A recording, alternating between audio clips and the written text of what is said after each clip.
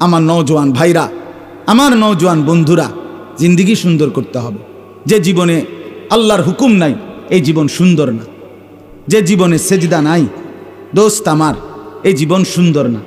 আমার ভাই, আমি আবারও বলছি, আমনে চাইয়েন ওই শুধু ওয়াজ হইছে, অথবা হুজুরে মাসা আল্লাহ ভালো কইছে, এই বক্তাকা ভালো, সামনে বছরও ওনারে দাওয়াত দিও, অথবা এই বক্তার আওয়াজ ভালো, ওই বক্তার সুর বালা আরেকজনের শিক্ষার বালা।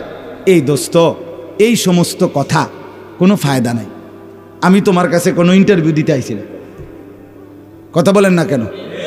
আমি কি এখানে ইন্টারভিউ দিতে আসছি? তাহলে আমি বন্ধু ইন্টারভিউ দিতে আসি নাই। আমি সুর শুনাইতে আসি নাই। আমি আমার চিৎকার শুনাইতে আসি নাই। আমি তোমার কাছে ইন্টারভিউ দিতে আসি নাই। আমি আসছি খোদার কসম, তোমার কলিজা জাগাইতে। তোমার বিবেক জাগাইতে আসছি। তামসা করতে না, তামাশা করতে। শুধু রশ্মি, নিয়ম মাফিক একটা ওয়াজ হলো, আর আগামীকাল আরেকটা হবে, পরশু আরেকটা হবে। মাহফিলের সাথে মাহফিল হচ্ছে। না রে বন্ধু, শুধু এই উদ্দেশ্য পরিবর্তন চাই। ইনকেলাব চাই, ইনকেলাব, পরিবর্তন। ইসলাহ চাই, পরিবর্তন চাই। ইন উরিদু ইল্লাল ইসলাহ, মাস্তাতাত। কোরআনে আছে, সমস্ত নবী প্রত্যেক নবী তাদের নিজ নিজ সম্প্রদায়কে আল্লাহর দিকে দাওয়াত দিয়ে দিবানিশি শেষ কথা বলতেন, হে আমার জাতি, হে আমার কৌম আমি আর কিছু চাই না। আমার সাধ্যের সবটুকু দিয়ে তোমাদের পরিবর্তন চাই। খোদার কসম, এটা কোরআনের আয় ইন উরিদু ইল্লাল ইসলাহা মাস্তাতাতু। সাধ্যের সবটুকু দিয়ে আমি তোমাদের কি চাই? কথা বলেন না কেন? পরিবর্তন চাই। বলেন কি চাই? ইসলাহ চাই। পরিবর্তন চাই। পরিবর্তন। যুবকরা বদলানো দরকার। নজওয়ান অনেক ছেলে মাসাল দোস্ত, তোমরা বদলানো দরকার। তুমি চরিত্রবান না হলে, তুমি পবিত্র না হইলে, তুমি নামাজ না পড়লে, ইমানের শক্তি পাবা থেকে তুমি আল্লাহর কোরআন যদি ধরেও না দেখো, ছুঁয়েও না দেখো, এই কোরআন যদি দেখে দেখে, পড়তেও না পারো, বন্ধু ইমানের শক্তি পাইবা কেমনে? আগামী দিনে মাহাদির পক্ষে লড়বা কেমনে? আগামী দিনে দাজ্জালের বিরুদ্ধে ইমান বাঁচাইবা কেমনে দোস্ত? আগামী দিন আওয়ামী লীগ বিএনপি না। আগামী দিন জাতীয় পার্টি না।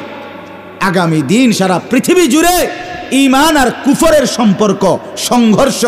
আগামী দিনে ইসলাম একদিকে আর কাফের আরেক দিকে এটাই আগামী দিনের মুখোমুখি লড়াই। এটাই মূল বিষয়। এটা শুধু এক অঞ্চল না। ইসরায়েলের ইয়াহুদিরা আল্লাহর কসম কসম আল্লাহর। এরা ফিলিস্তিনের বিরুদ্ধে যুদ্ধ করছে না। এদের চির আক্রোশ একশো আশি কোটি মুসলমানের বিরুদ্ধে। একশো আশি কোটি মুসলমানকে নিশ্চিন্ন করা, পৃথিবীর শেষ মুসলমানের অস্তিত্ব বিলীন করে দেওয়া, এটা হলো ইয়াহুদিদের চ্যালেঞ্জ ইহুদিদের সিদ্ধান্ত। ইয়াহুদিরা শুধু ফিলিস্তিনকে হারাইতে চায় না।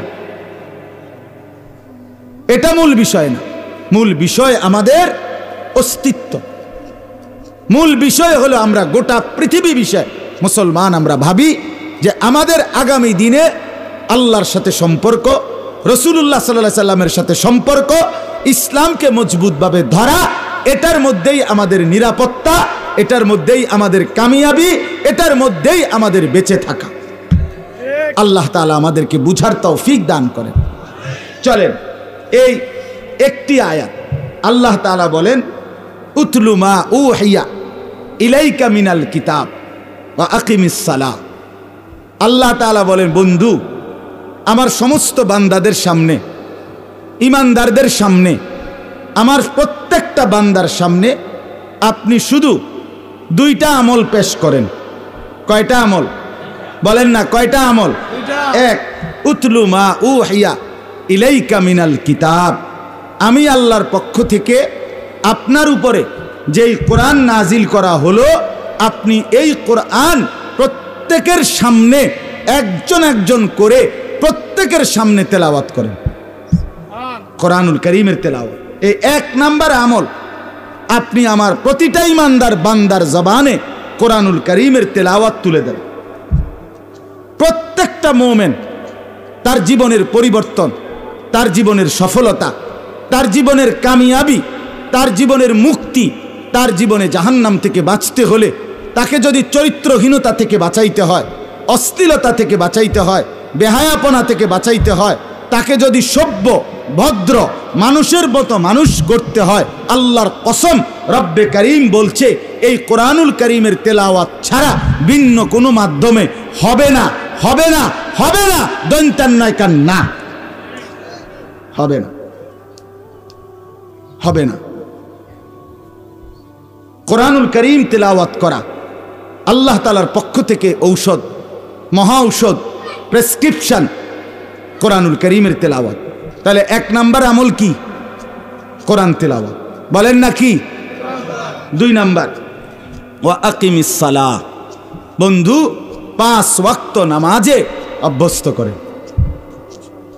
আকিমিসালা নামাজ কায়েম করেন। পাঁচ ওয়াক্ত নামাজকে চালু করেন। পাঁচ ওয়াক্ত নামাজকে প্রতিষ্ঠা করেন। পাঁচ ওয়াক্ত নামাজকে বাস্তবায়ন করেন। পাঁচ ওয়াক্ত নামাজকে জীবনের মধ্যে মজবুতভাবে আঁকড়ে ধরেন। এই দুই আমল। সহজ কথা। এই আয়াত একদম সহজ আয়াত। আল্লাহ বলেন, দুইটি আমল। কোরআনুল করিমের তেলাওয়াত, পাঁচ ওয়াক্ত নামাজ। বলেন, এক নাম্বার কি? দুই নাম্বার কি? এই দুইটা আমল বিনিময়ে আল্লাহ বলেন, বন্ধু, সবার মধ্যে আপনার প্রত্যেকটা অনুসারী, প্রত্যেকটা মুসলমান, প্রত্যেকটা মোমেন, প্রত্যেকের মধ্যে আপনি এই দুই আমল চালু করেন। এক হলো কোরআনুল করিমের তেলাওয়াত আর এক হলো পাঁচ ওয়াক্ত নামাজ। বিনিময়ে কি লাভ হবে? আল্লাহ তালা ডাইরেক্ট বলছে, ইন্না সালাতা তানহা আনিল ফাহশাই ওয়াল মুনকার। নিশ্চয়ই নামাজ। নামাজ মানে নামাজের ভিতরেই কোরআন তেলাওয়াত। অটোমেটিকলি নামাজ বললে এটার মধ্যে কোরআন তেলাওয়াতও অন্তর্ভুক্ত। কোনো নামাজ কোরআন তেলাওয়াত ছাড়া কোরআনের কিছু অংশ পড়া ছাড়া কি হয়? কথা- বলেন হয় কি? তো ইন্না সালাতা নিশ্চয়ই কোরআনের তেলাওয়াত সমৃদ্ধ নামাজ তানহা ওই ব্যক্তিকে বিরত রাখবে আনিল ফাহসা সমস্ত অশ্লীলতা থেকে, ওয়াল মুনকার যাবতীয় গুণা থেকে। দুই জিনিস, এক হলো অশ্লীলতা, আরেক হলো গুণা। অশ্লীলতা বা কাকে বলে? স্বাভাবিকভাবে অশ্লীলতা বলে শরীয়তের আলোকেও যেটা মন্দ, মানুষের দৃষ্টিতেও যেটা মন্দ। তারে বলে অশ্লীলতা। আরেকটা হলো, মানুষের কাছে মন্দ না হোক, মানুষের কাছে বুঝে না ধরুক কিন্তু কোরআন সুন্নার আলোকে এটা গুণা পাপ, নিষেধ, অতএব এটারে বলা হয় মুনকার গুণা তাইলে আল্লাহ তাআলা বলেন, যত কিছু অশ্লীলতা, এর মধ্যে সবচেয়ে বেশি তফসিরের মধ্যে লেখা আছে, অশ্লীলতা বলতে কি? অশ্লীলতার মূল মিস্তাক হলো নারীকে কেন্দ্র করে যত গুণা কাকে কেন্দ্র করে? নারীকে কেন্দ্র করে যত গুণা হয়। সবটাকেই বলে অশ্লীলতা নারীর নাচ, নারীর গান, নারীর অশ্লীল দৃশ্য, জিনা ব্যবিচারের দৃশ্য, নারী বেপর্দা হওয়া, নারী বেহায়া হওয়া, নারী আপনার অবৈধ প্রেম করা, নারীর সাথে অবৈধ একাকী সময় কাটানো, নারীর সাথে চোখ দিয়ে নারীকে দেখা, নারীকে হাত দিয়ে ধরা, নারীকে জড়িয়ে ধরা, নারীর সাথে জেনা ব্যবিচার করা একাকিত্বে সময় কাটানো, উলঙ্গ ছবি দেখা, নাচ গান দেখা, নাটক সিনেমায় নারীর দৃশ্য দেখা, যেই কোনোভাবে নারীকে কেন্দ্র করে যত গুণা, এটাকে বলা হয় ফাহসা এটাকে বলা হয় অশ্লীলতা।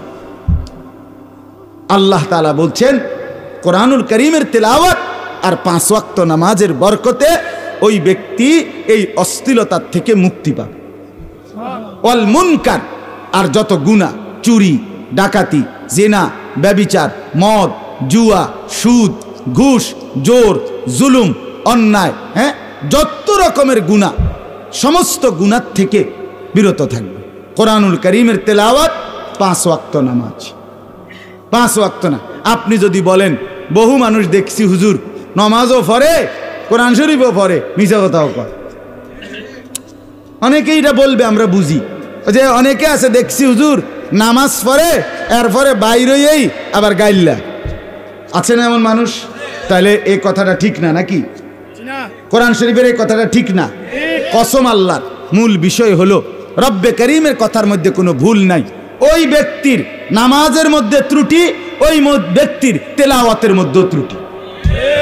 আপনি যদি খবর নেন, কোনো আলেমে দিন যদি যাচাই করে, তাইলে দেখা যাবে, আত্মাইয়াতু পরে ভুল দোয়ায়ে মাসুরা পরে ভুল, দুরুদ শরীফ পরে ভুল, সুরা কেরাত পরে ভুল তাব্বাতিয়াদা কুলহু আল্লাহ পরে ভুল, আলাম তারাও পরে ভুল, সব ভুল। অজু ও সুন্নত তরিকায় না, গোসল ফরজ কীভাবে আদায় করতে হয়, ওইটা ঠিকমতো আদায় হয় না। রুকু দিয়া, মাথা কদ্দুর আলগি দিয়া, সেজদার দিকে জায়গা। সেজদা একটা দিয়া, মাথা একটু আলগি দিয়া, আরেকটা মাইরা দেয় সেজদা। কথা বুঝেন না আপনি? সেজদা দিছে ফিসি দিয়া দোনো ঠ্যাং আলগি দিয়া লাইছে। এরকম ভদ্রলোক নাই। আমি নিজ চোখে দেখছি। অগণিত অগণিত। আমি একদিন একজনে চেয়ারে বসে নামাজ পড়ে। আবার চেয়ারে বসে রয়েছে রুকুর টাইমে হাতের এদ্দুর বাড়ে। রুকু। সেজদার টাইমে হাতের এদ্দুর বাড়ে। এটা সেজদা। আমি কইলাম ইন্নার ইল্লা সাসা, এটা কিতা? এদ্দুর হইলে রুকু এদ্দুর হইলে সেজদা। এ হাতের এরকম আফগান ফিচ্চানি রে কয়, রুকু সেজদা। এরম আশ্চর্য রুকু সেজদা তো আমি। চার মাজাব দূরে থাক, পৃথিবীর কোনোখানে আর শুনছি না। এটা কি রুকু? বলেন, এটা কি তা? হের বানাটি নিজস্ব বানানো, নিজস্ব মন গড়া। নিজের বানানো। অতএব যার নামাজ, যার কোরআন তেলাওয়াত সুন্নাহ সম্মত রসুল্লাহ সাল্লা সাল্লামের নির্দেশনা সম্মত হবে, আল্লাহর কসম ওই ব্যক্তির নামাজ এবং তেলাওয়াত তাকে নিশ্চিত নিশ্চিত অশ্লীলতা, বেহায়াপনা, অসভ্যতা, নাফরমানি, আল্লাহর অবাধ্যতা থেকে বাঁচাবেই বাঁচাবে বাঁচাবেই বাঁচাবে বাঁচাবেই বাঁচাবে। আকবার। আল্লাহ বলেন, বান্দা, শুনে নাও, আমার স্মরণ, আমার জিকির, এটাই হচ্ছে এই কায়নাতের আকবার সর্বশ্রেষ্ঠ সম্পদ।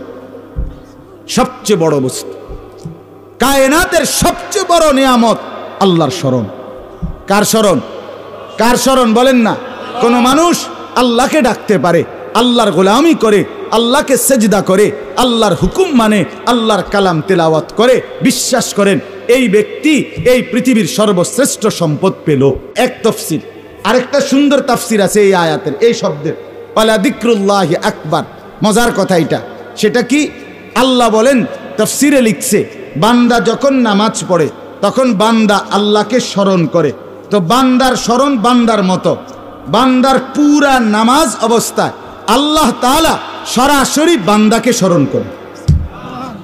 আর আল্লাহ বলেন, তুমি আমাকে স্মরণ করিলে জেদ্দুর আমি তোমারে স্মরণ করলে একবার তার চাইতে অনেক বেশি। অনেক বেশি। এই হলো আরেকটা অর্থ। এই জন্য বান্দা যখন হাদিসের মধ্যে আছে। আল্লাহ নবী সাল্লাহ আলাইহি ওয়াসাল্লাম বলেন, আকরাবু মা ইয়াকুনুল আবদু মির রাব্বিহি অহুয়া সাজিদ। নবীজি বলেন, বান্দা যখন সেজদা দেয়, খোদার কসম নবী বলে, আল্লাহ তালার একদম ঘনিষ্ঠ আপন হয়ে যায়। আমার শায়েখ আল্লামা মুফতি মুশতাকুন নবী কাসিমি হজরত বলেন, বান্দা যখন সেজদা দেয়, তো আল্লাহ তাআলা ওই বান্দা মহব্বত করে পিঠে, মাথায় কুদরতি ভাবে আল্লাহ যেন হাত বুলায় হাত বুলায় আল্লাহ যেন মায়া করে, আদর করে। আনিস, আসছো না? আমাকে সেজদা দিলা। আচ্ছা উঠো। ইরফা রাসাক তোলো, মাথা তোলো, বসো। তো বান্দা বসে। তো আল্লাহ তালা বলে আচ্ছা তো আর কিছু বলবা? তো বান্দা বলে আত্তাহিয়াতুলিল্লাহ অসালাওয়াতু আত্তাইয়িবাত আল্লাহ বলে আচ্ছা আমার প্রশংসা করছ, ঠিক আছে, খুশি হলাম। আর কিছু?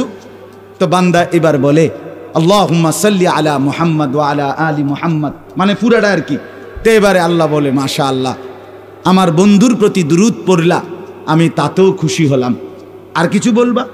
তো এবার বান্দা বলে, রব্বুল আলমিন, সেজদা দিয়ে আপনার কাছে আসলাম। আপনার প্রশংসা, আপনার বন্ধুর প্রশংসা করে আপনার খুশি অর্জন করলাম। এইবার আমার মূল চাওয়া আছে, আল্লাহুম্মা ইন্নি যালামতু নাফসি দুলমান কাসীরা। আমি না, বড় বেশি নাফরমান মাওলা। আমার গুণা অনেক বেশি, আমার পাপ অনেক বেশি। আমি খুব বেশি গুণা করেছি, আর আপনি ছাড়া আমার মাফ করার কেউ নাই।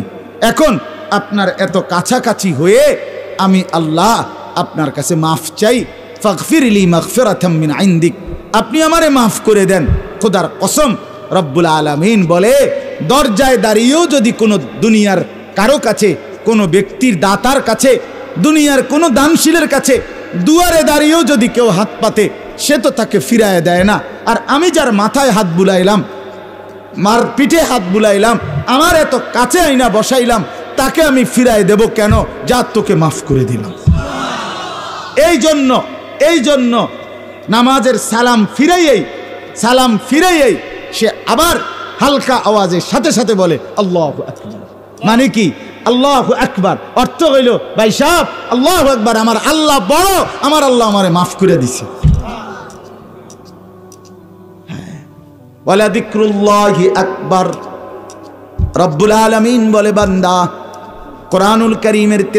করলে তুমি আমাকে স্মরণ করো, সাথে সাথে আমি আল্লাহ তোমাকে স্মরণ করি। নামাজ পড়লে, বান্দা, তুমি যেমন আমাকে স্মরণ করো আমি রব্বুল আলামিনও তোমাকে স্মরণ করি। ফাদকুরুনি আদকুরকুম। এটা আপনারা শোনেন নাই? আল্লাহ বলেন, তুমি আমাকে স্মরণ করো, আমি আল্লাহ তোমাকে স্মরণ করব। হাদিসের মধ্যে আছে, আল্লাহর নবী বলেন, কোন বান্দা যখন বলে, আলহামদুলিল্লাহ রব্বিল আলামিন, সাথে সাথে আল্লাহ ফেরেস্তাদেরকে ডাক দিয়ে বলে ফেরেস্তারা শুনো, হামিদানি আবিদি এই মাত্র আমার বান্দা আমার প্রশংসা করল। এবার বান্দা বলে আর রহমানির রাহিম। আল্লাহ আবার বলে ফেরেস্তা শোনো শোনো, আসনা আলাইয়া আবিদি। আমার বান্দা আবারও আমার গুণকীর্তন করল। মালিকি ইয়াউমিদ্দিন, বান্দা যখন জমিন থেকে বলে আর শাজিম থেকে আল্লাহ ফেরেস্তাদেরকে বলে মর্যাদানি আবিদি। আমার বান্দা আমার মর্যাদা আরও বাড়িয়ে দিল। এইভাবে প্রত্যেক আয়াত বান্দা বলে, আর সে আজিম থেকে রব্বুল আলমিন ফিরাইয়া জবাব দেয়। এই জন্য ওয়ালা দিক্রুল্লাহ আমার স্মরণ, তুমি আমারে ডাকলে, আমি তোমারে ডাকি। রদিয়াতাম্মার দিয়া কোরআনে আছে আল্লাহ, যে বান্দারে পছন্দ করে, আল্লাহ মৃত্যুর সময় তারে বলে, বান্দা, আসো আমার কাছে রদিয়াতাম্মার দিজ্ঞা তুমিও আমার উপরে খুশি, আমিও তোমার উপরে খুশি। আমি ইহা সে, তুম ওহা दोनों জানেব সে ইশারা হুয়া। এখান থেকে আমি, সেখান থেকে তিনি, দুই দিক থেকে ইশারা হলো দুইজনেই রাজি। সুবহান এখান থেকে বান্দা বলে, আল্লাহ, আমি আপনাকে ভালোবাসি। আর শাজিম থেকে আল্লাহ বলে, বান্দা, আমিও তোকে ভালোবাসি। রাদিয়াতাম মারদিয়াহ, ইয়া আইয়াতুহান নাফসুল মুতমাইন্নাহ। ইলা রাব্বিক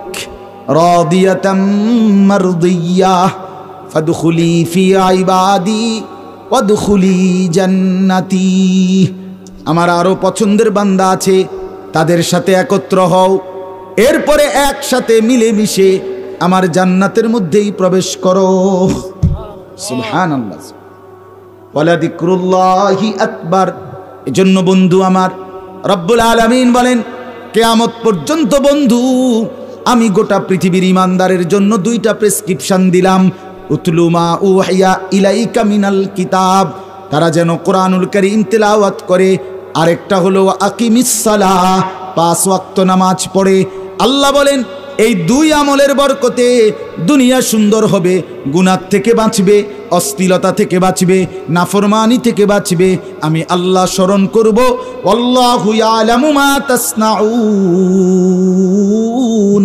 আল্লাহ বলে, বান্দা, আমি স্পষ্ট বলে দেওয়ার পর এবার তোমরা যে যা করছ, আমি আল্লাহ কিন্তু পুরাপুরি জানি, পুরাপুরি দেখি, পুরাপুরি খবর রাখছি। সুবহানাল্লাহ। মা তাসনাউন শব্দের অর্থ হলো বান্দা যেমনে গোরে রাতে, দিনে, সকালে, দুপুরে, একাকী, প্রকাশ্যে, কৌশলে মানে যেই কোনো কিছুতেই তুমি যাই করো, আল্লাহ বলেন, দুনিয়া কেউ বোঝে নাই, মানুষ কেউ দেখে নাই বাবা বাবা দেখে নাই, মা দেখে নাই, নেতা দেখে নাই পাড়াপড়শি জানে নাই। বান্দা, তুমি ভেবো না, বরং আমি আল্লাহ চব্বিশ ঘণ্টা এক নজরে হার হালাতে তোমাকে দেখি। তুমি আমার আড়াল হইতে পারত। পারবে? সম্ভব? আজকে। অতএব, শেষ বেলায় আমি আপনাদের কাছে দোস্ত, এই কথাটাই বললাম। আমার নওজোয়ান ভাইরা, আমার নওজোয়ান বন্ধুরা, জিন্দিগি সুন্দর করতে হবে।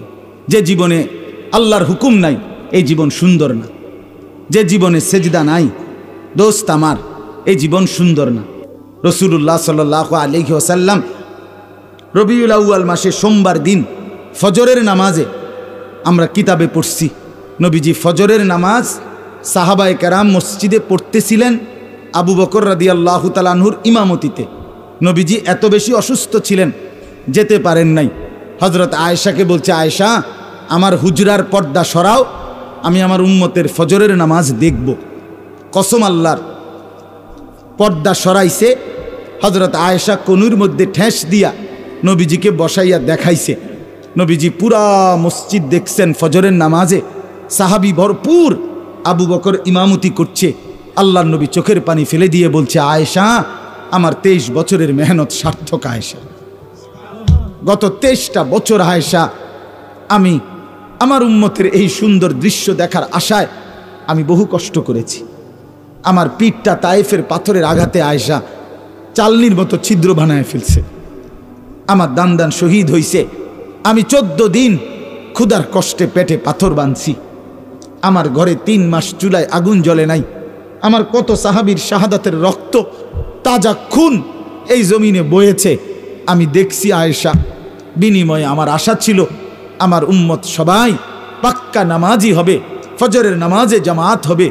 নবী বলেন, আমি দেখলাম, আমি খুশি হলাম, আমি সার্থক হলাম। এরপরে কিতাবে আছে, নবীজি দুই হাত আসমানের দিকে তুলে সোমবার দিন নবীজি বললেন আল্লাহ হুম্মার রফিক আল আলা। বন্ধু, আল্লাহ, এবার আমি আপনার কাছে যেতে চাই। এরপরেই নবী ওই দিন জোহরের নামাজের আগেই আল্লাহ রসুল ইন্তেকাল করছে। শেষ। নবী সাল্লাহ সাল্লাম শেষ খুশি হয়েছিলেন কি, কোন নামাজ দেখে? হা দোস্ত, আজ দিনের পর দিন, মাসের পর মাস, বছরের পর বছর, অসংখ্য মুসলমান ফজরের নামাজে কোনো দিন দেখা যায় না। কোন দিন পড়বেন? কোন দিন? আর কত বছর পরে দোস্ত? বলেন, আপনারা যারা ফজরের নামাজ পড়েন না, বলেন। কসম আল্লাহর। নবীজি, স্পষ্ট হাদিস শুনেন।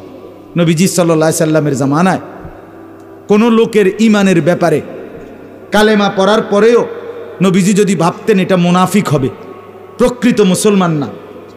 নবীজি যদি সন্দেহ করতেন, হাদিসে স্পষ্ট আছে আল্লাহর কসম, নবীজি ফজরের নামাজ সালাম ফিরাইয়া ঘুরে নবীজি বলতেন, আফিল মসজিদে ফুলান মসজিদে উমুক উমুক আছে। সাহাবিরা বলতেন, ডানে বামে তাকাইয়া, না, উমুক উমুকে আসে নাই। রসুল্লাহ সাল্লাহ সাল্লাম বলেন, মোনাফিক হওয়ার ব্যাপারে সন্দিহান ছিলাম, এখন নিশ্চিত হলাম। বুঝেন নাই? মোনাফিক হওয়ার ব্যাপারে ওই লোকগুলোর কি ছিলাম? সন্দিহান ছিলাম, এখন কি হলাম? নিশ্চিত কোন নামাজ দেখে? ওই বন্ধু, বলো না। ফজরের নামাজ।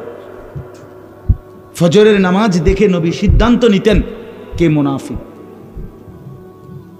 ফজরের নামাজ অনুপস্থিত, এটা মোনাফিক। এই জন্য ভোটার আইডি কার্ডে লেখো, মোনাফিক। সামনের দিকে পাসপোর্টে লেখো, মোনাফিক।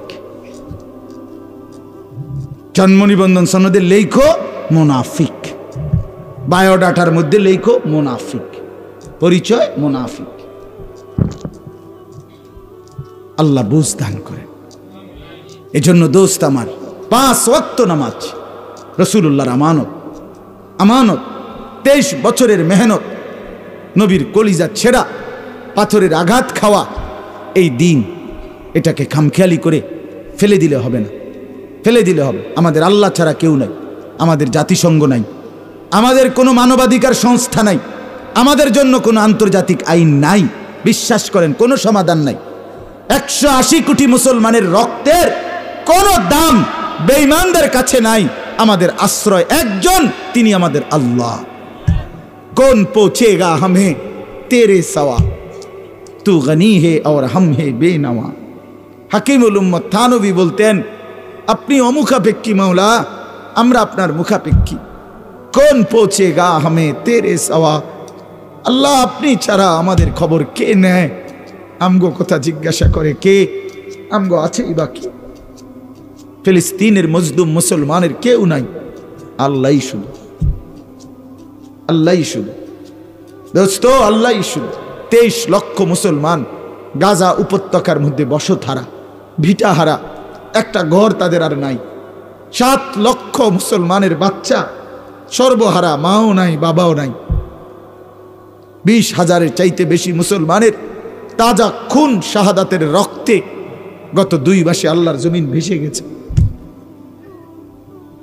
মুসলমানের আর কত রক্ত দেখলে? মুসলমানের উপরে আর কত জুলুম দেখলে বন্ধু, মনে পড়বে আল্লাহর কথা। আর কতদিন পরে? আর কত জুলুম দেখলে মনে পড়বে সেজদা দেওয়ার কথা? আর কতদিন দোস্তরা, বন্ধুরা, আর কতদিন মোবাইল টিপবা? বলে অনবরত মোবাইল টিপতেছ বন্ধু? আহা বন্ধু, এইভাবে তো রাজার ধনও ফুরায় যাবে। এত অপচয়, এ তো সাত রাজার ধনও ফুরায় যাবে। সাত রাজার ধন। এটা কি বাস্তব না? এইভাবে একটা জিনিস তো প্রয়োজন হইতে পারে। অফিসের কাজে, মাদ্রাসার কাজে, স্কুলের কাজে, চাকরির কাজে, বিদেশের কোনো কাজে, বড় মোবাইলের কোনো প্রয়োজন থাকতে পারে। খালাস, প্রয়োজনকে তো প্রয়োজনের মধ্যেই রাখি। কিন্তু দুই আঙ্গুল দিয়ে সারা দিন, রাত নাই, দিন নাই রাস্তা ঘাটে জিটা পায় বেড়া, বেডি, কুত্তা, বিলাই, শুকর, মানুষ, জন্তু, জানোয়ার, যা পায় সব কিছুর ছবি উঠাইতেছে, ভিডিও করতেছে। সাদ শুধু ছবি শুধু ছবি। সারা দিন সারা রাত এই মোবাইল টিপতে থাকা, এটা কি কোনো সুস্থ, স্বাভাবিক মানুষের কথা? এইভাবে তো রাজার ভান্ডারও ফুরায় যাবে। আমি অনুরোধ করলাম, আর যদি কোনোদিন নাও আসি, তো একবারই বললাম একবারই বললাম, দোস্ত, তু আগার মেয়েরা নিহি বনতা না বন, আপনা তো বন। আমার শেষ কথা, তুমি যদি আমার কোনো উপকার না করো, কইরো না। তুমি যদি এই সমাজের কোনো উপকার না করতে পারো, ঠিক আছে, করো না। কমপক্ষে নিজের ভালোটুকু করো। এদ্দুর করো ভাইয়া, এদ্দুর করো। নিজেরে নষ্ট করে দিও না। নিজেরে নষ্ট করে দিও না।